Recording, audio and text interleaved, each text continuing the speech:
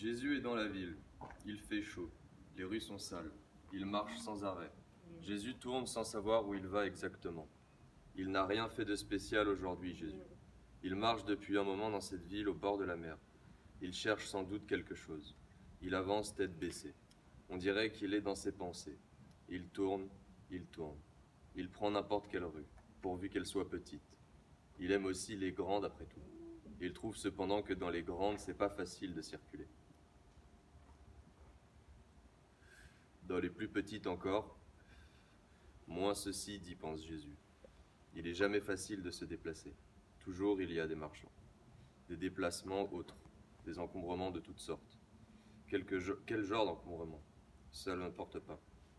Jésus regarde rien. Il est dans sa tête, comme on dit. Il lève jamais les yeux au ciel. Il s'en fout du ciel. Quel temps il fait? Où est-ce qu'on va? Qu'est-ce qu'on a vu?